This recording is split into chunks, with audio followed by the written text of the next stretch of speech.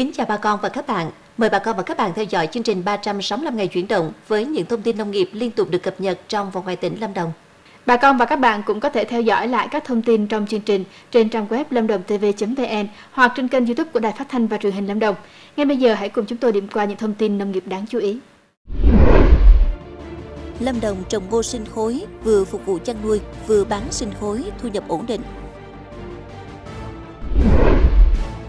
Lạc xuân đơn dương rực rỡ những cánh đồng hoa cát tường.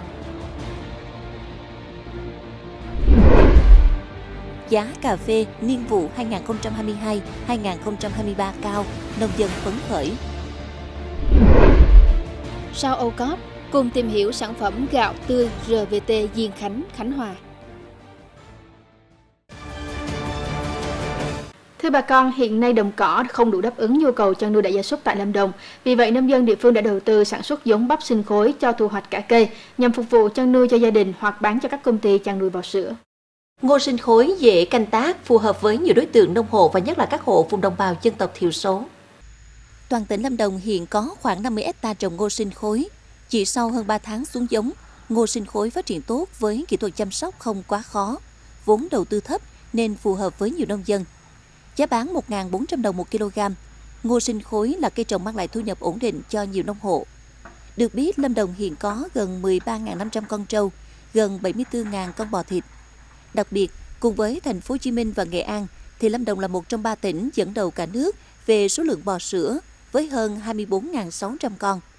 Tuy nhiên, toàn tỉnh chỉ có khoảng 2.600 hecta diện tích trồng cỏ phục vụ chăn nuôi, nên vẫn còn tình trạng thiếu thức ăn xanh cho trâu bò.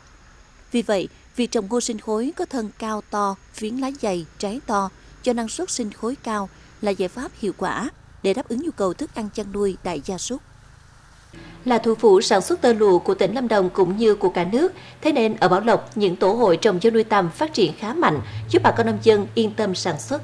Ngoài các tổ liên kết do Hội Nông dân thành lập, các tổ hội trồng dâu nuôi tầm do Hội Liên hiệp Phụ nữ điều hành hoạt động cũng rất hiệu quả. Mời bà con cùng đến với những tổ hội liên kết trồng dâu nuôi tầm ở thành phố Bảo Lộc ngay sau đây. Chỉ riêng xã Đạm Ri đã có hai tổ liên kết là tổ hợp tác nuôi tầm lấy kén với 70 thành viên và tổ liên kết trồng dâu nuôi tầm với 35 thành viên, đều là hội viên Hội Liên hiệp Phụ nữ xã. Hai tổ hợp tác này liên kết chặt chẽ với nhau, tạo nên cung ứng tuần hoàn từ việc cung cấp nguồn lá dâu làm thức ăn cho tầm tới thu mua kén với giá thành được đảm bảo.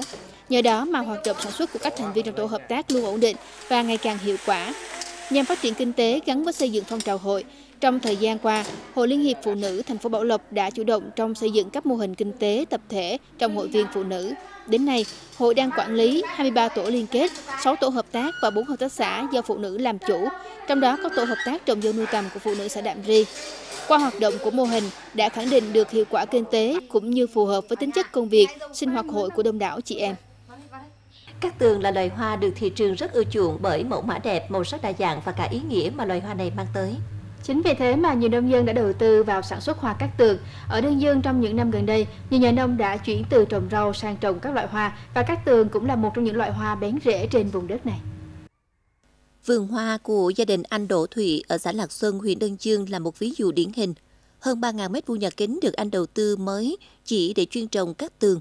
Không phải ngẫu nhiên mà anh lại chọn loài hoa này, bởi chỉ riêng khu vực anh sinh sống đã có hơn chục hộ trồng cát tường từ 3 đến 4 năm trước.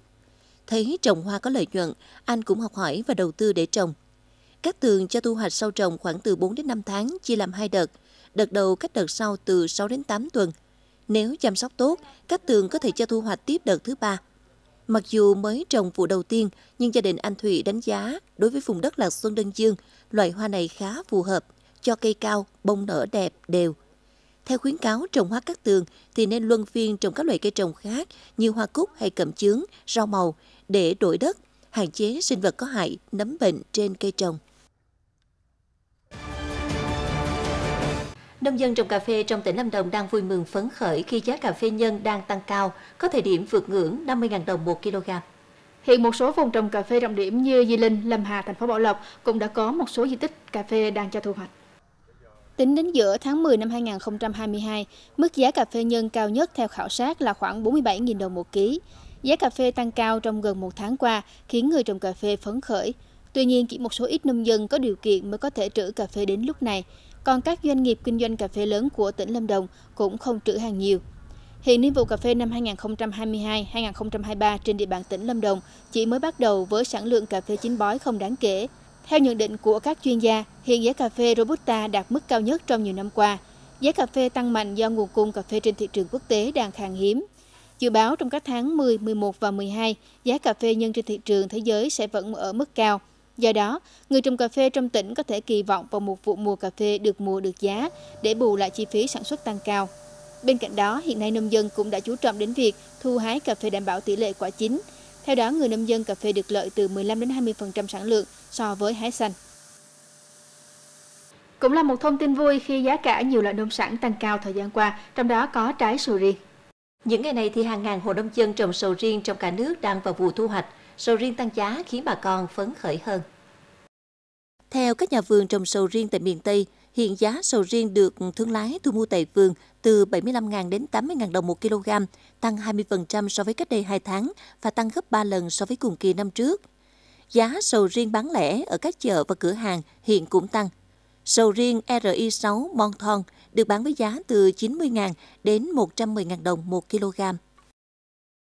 Đợt mưa lũ vừa qua đã gây thiệt hại lớn tại các vùng chuyên canh rau ở thành phố Đà Nẵng và nhiều diện tích rau của vùng rau La Hường và Túy Loan đã bị cuốn trôi theo dòng nước. Sau khi nước rút thì bà con nông dân đã bắt tay vào dọn dẹp, vệ sinh đồng ruộng và chuẩn bị khôi phục cho sản xuất. Vâng, sau khi nước lũ rút thì bà con nông dân cũng đã bắt đầu dọn dẹp vệ sinh đồng ruộng để chuẩn bị sản xuất trở lại. Sau nhiều ngày ngập chìm trong nước lũ, các vùng chuyên canh rau này đã bị thiệt hại hoàn toàn. Vớt phát những gì còn sót lại, người dân tranh thủ khử trùng đồng ruộng, làm đất để chuẩn bị sản xuất cho vụ rau đông xuân. Hợp tác xã rau La Hường có diện tích canh tác 7,5 hecta.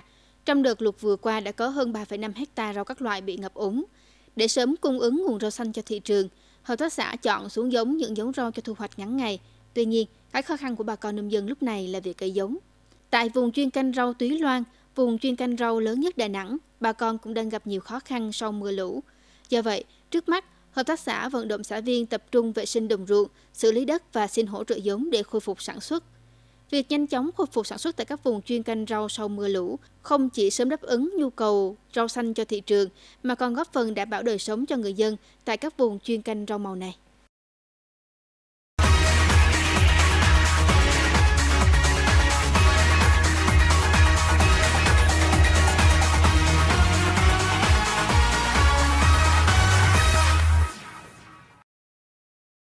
Từ những cánh đồng vừa được thu hoạch thì nhóm các bạn trẻ đến từ xã Diên Tân, huyện Diên Khánh, tỉnh Khánh Hòa đã tận dụng lợi thế về thổ nhưỡng của địa phương trồng và phát triển lúa sạch và cho ra đời loại gạo tươi mang thương hiệu gạo tươi RVT.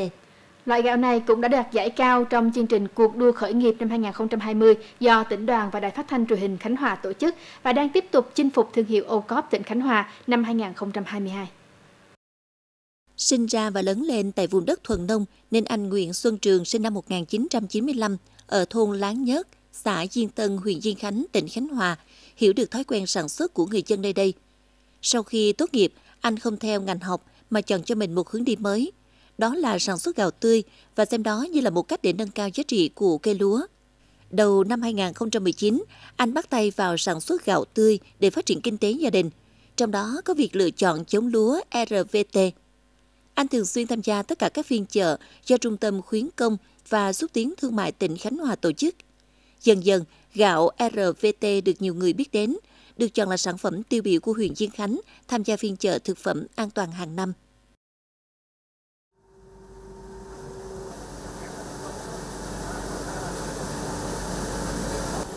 À, vâng thưa quý vị, đó chính là không khí tại cơ sở sản xuất gạo RVT. À, bây giờ thì Ngọc Huy mời quý vị gặp gỡ với chủ nhân của thương hiệu sản phẩm độc đáo này nhé. À, không biết là tại sao ờ, trong rất là nhiều những cái sản phẩm mà có thể khởi nghiệp á, bạn lại chọn sản phẩm gạo tươi này à, cho cái hành trình ờ, khởi nghiệp của mình ạ? À?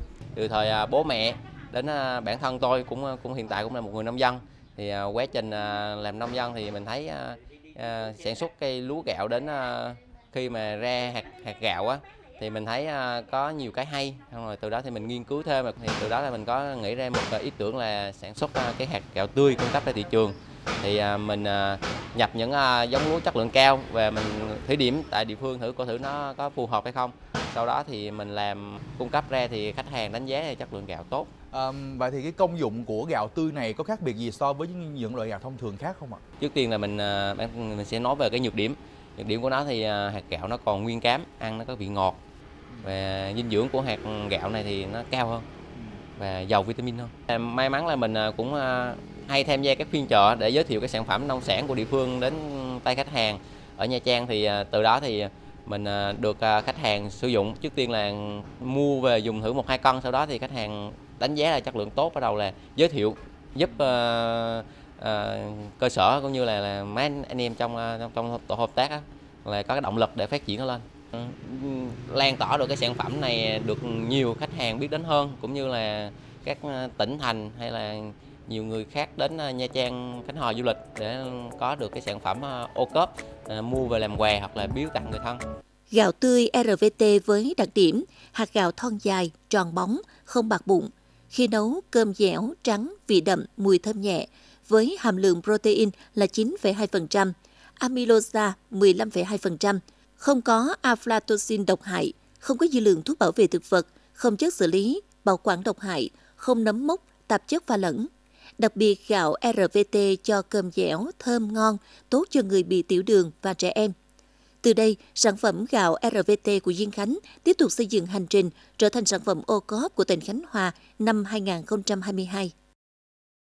Quý vị và bà con thân mến, những thông tin vừa rồi cũng đã khép lại chương trình 365 ngày chuyển động hôm nay. Để chia sẻ thông tin với chương trình, mời bà con và các bạn cùng gửi email về địa chỉ 365 ngày chuyển động ltv a.gmail.com hoặc gọi điện thoại về số điện thoại quen thuộc 02633 829 930. Đến đây thì Thanh Hải và Kiều Anh xin được nói lời chào tạm biệt. Hẹn gặp lại bà con và các bạn trong các chương trình tiếp theo.